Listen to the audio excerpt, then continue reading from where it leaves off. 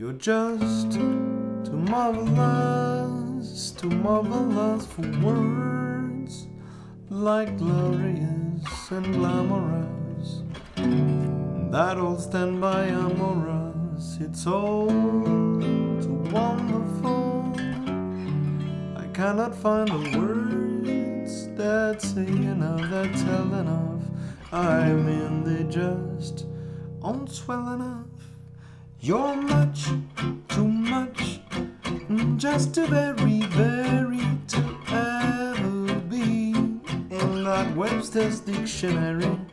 And so I'm borrowing a love song from the birds to tell you that you're marvelous, too marvelous for words.